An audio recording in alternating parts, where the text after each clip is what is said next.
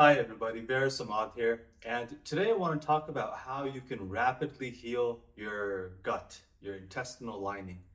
Now, most people go carnivore because they find a great relief in their autoimmune symptoms by removing all fibers. It makes sense because fibers can be very abrasive to the gut lining. However, eating lots of steak and meat and lean chicken does not have the nutrition necessary to build and repair the gut lining. It's simply not in those cuts of meats. And I'm going to explain to you the cut of meat that you do need.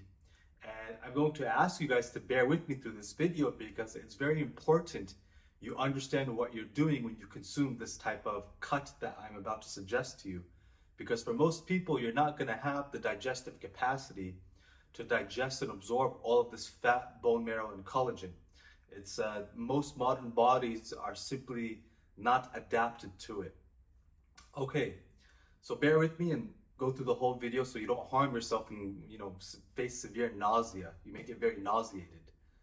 But we're going to try to avoid that by clarifying a few things and um, hopefully this helps you out. So what do you need? You need to consume an oxtail soup. Okay, and I'm going to get into this and why specifically this cut.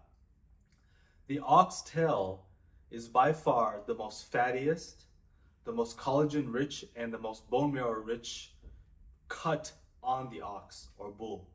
It has by far the most collagen, the most bone marrow, and the most saturated fat, and it's very little protein. Now, this oxtail soup is very different from muscle meat. Muscle meat doesn't have these nutrients. Muscle meats and steaks, which most carnivores are on, it doesn't have the bone marrow. It doesn't have the collagen content. It doesn't have the extreme concentrated source of saturated fat and cholesterol. It's mainly just red meat. And if you're familiar with my work, such as nutritional fortification and physical development or the vegan agenda exposed, my point is not that red meat is what we're lacking. The conspiracy and the thing that we need and which has been which we have been deprived of is saturated fat and cholesterol. And the steaks are not a great source of this. So you need animal fat and saturated fat and cholesterol you need the stem cells, the bone marrow, and the collagen from the animal in order to rebuild the intestinal lining. If you want to get off this carnivore diet and not be so limited and be able to tolerate other plants again, you're going to need this oxtail soup. The muscle meats are just not going to cut it. It does not have the nutrition needed to rebuild the gut lining. Now, where I'm from, in Afghanistan, there is a very ancient sport that is practiced, uh, and it's called buzkashi, which means uh, goat grabbing and it's essentially an ancient form of polo. But instead of using a ball, the horse riders, the uh, horse riders use um, the headless carcass of a goat.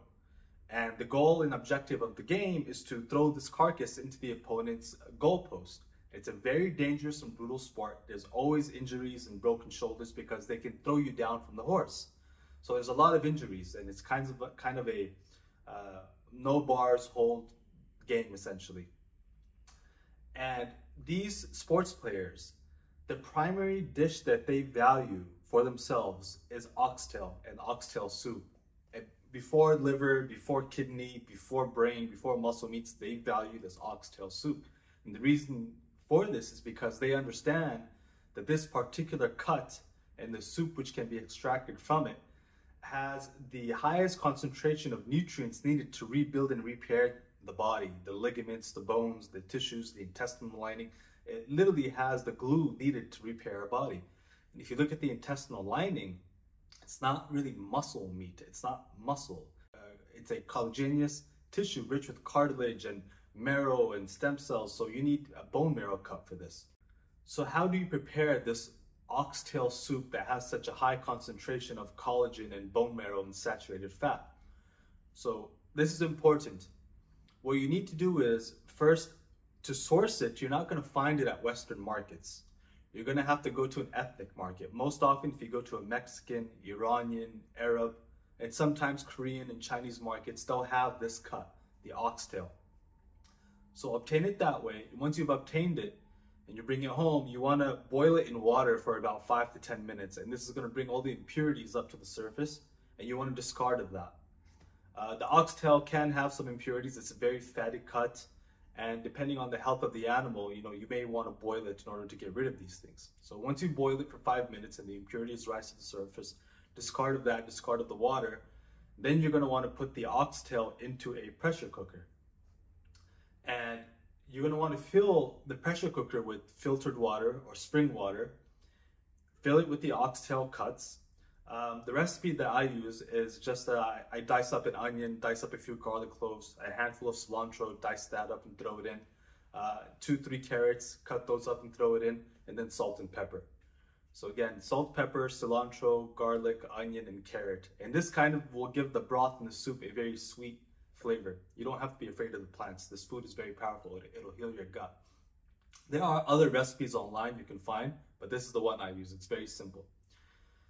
Bring the pressure cooker up to a boil. Once it starts boiling, and don't cover it yet, but once it comes to a boil, um, bring it down to a simmer shut the pressure cooker, put the lid on top and shut the pressure cooker. Bring up the heat once again, and once the pressure cooker starts whistling uh, and is filled to the brim with steam, and there's you know there's a mechanism for a pressure cooker to uh, signal that it has been filled with steam. It stops whistling. You want to bring it down to a simmer again. Make sure you don't have the lid on for long periods of time uh, at high heat. You want to have this thing cooking on a simmer with the lid closed. And you want to let this thing boil for about an hour and a half minimum. Two, three hours is ideal. Once you're done, be very careful to turn down the heat, turn off the heat, and let the steam uh, evaporate from the pressure cooker naturally. This may take half hour to an hour.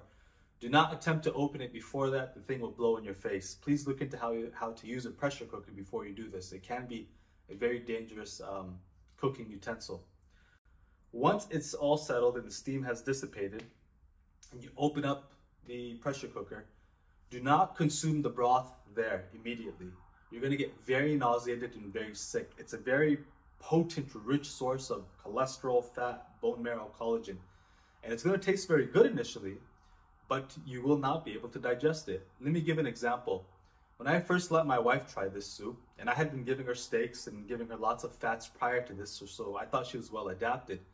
But when she had first tried the soup, she ended up becoming very nauseated. Although initially, when she when she first had it, you know, she tasted it, she said, "Wow, it's amazing." She loved the taste. She felt good, and she ended up having two cups. And several hours later, she had uh, incredibly horrible nausea throughout the night. She couldn't sleep all night, and I had to kind of take care of her. However, when she did finally fall asleep around 7 a.m. and then woke up the next day around 1, 2 p.m., she realized that two of her wisdom teeth had popped through the gums. Her submerged wisdom teeth literally popped through the gums, and that occurred because this is such a rich source of nutrition. Vitamin A, D, cholesterol, saturated fat, bone marrow, collagen. It literally builds the body. It's a most powerful food. One dose made her wisdom teeth grow in. So be very careful. Now, what I suggest is what you do once it's done, the and the steam has distilled or evaporated let it cool down and place it in the refrigerator. After several hours in the refrigerator, the fat and collagen is going to separate. And at that point, you can consume it. Take it out of the refrigerator, and you will see that the fat has risen to the top, and this gelatinous collagen is at the very bottom. And it's a very rich source of nutrition. And what you want to do is take, like, um, let's say three fourth a cup of the collagen and one fourth cup of the fat. Put it back in a small pot and uh, just heat it up. Bring it to a simmer and then you can drink that. And start slow. Now, to make this far more powerful, there's three supplements that I recommend. You don't have to use them, but I do believe if you incorporate these supplements, it's going to be just far more potent and, and powerful at rebuilding the gut lining. The first one is you want to take uh, gallbladder and ox bile, and I recommend Ancestral Supplements. They're an amazing company, and this stuff will just make sure that you are able to get the most out of this food. It's going to help digest the fats for you, the gallbladder and ox bile. Um, amazing supplement. It really just melts fat in your intestines if you have difficulty digesting fat. Uh, the second supplement is intestines from the same company, Ancestral Supplements. And I'd recommend this because it's going to have uh, another addition of the raw building blocks needed to repair the intestine. Alone, this supplement, I don't think it's enough because you need the fat and the collagen and the bone marrow. But if you add the intestinal supplements to it, you're just going to have a plethora of that much more nutrition, which is uh, uh, particularly designed and aimed at healing the intestinal tract. So that's the second one. And the third one is deer placenta. And I recommend the deer placenta from this company called Dragon Herbs. It's by far my favorite supplement I've ever experimented with. And I recommend this supplement because it is a very potent source of stem cells. And adding the stem cells in this soup is basically going to allow you to be able to better rebuild uh, the cells in your body which are dead, dying, and depraved of nutrition. It's uh, stem cell therapy essentially is a way of reversing the aging process. It really is. So again, those are the three supplements I recommend. Uh, the stem cells, the uh, gallbladder to help digest the fats, and the intestinal supplement to help target the intestines as well. With this bone marrow collagen soup or oxtail soup, it's an amazing source. It's our amazing source of fat and cholesterol, amazing source of bone marrow and collagen. And it's very different from the lean cuts of meat. It's not a steak. The steaks don't have this nutrition. All you're getting is protein from that. And protein really doesn't feed the intestinal tract. It feeds the muscles, but it doesn't feed the ligaments, the cartilage, and the intestines. Now, I'm going to pin a comment in the comment section, and it's going to be a link to a PDF explaining all of this again. How to source the oxtail, the, the recipe I just described, how to cook it in the pressure cooker, and I'm gonna try to add images to it so that it's much easier for you guys. I'll also have the supplements I recommended there in that same comment as well, so that you can just have a place to go to. I know this all sounds kind of confusing without showing you the imagery and all that, and many people are visual learners, but I will make the PDF and pin it in the comment section, and I hope that will be able to help you guys. So if you have any questions, guys, go ahead and leave your comments below. I'll answer them when I have time. I hope you guys found this video helpful give it a like, uh, share, and subscribe. Thank you all and have a wonderful day.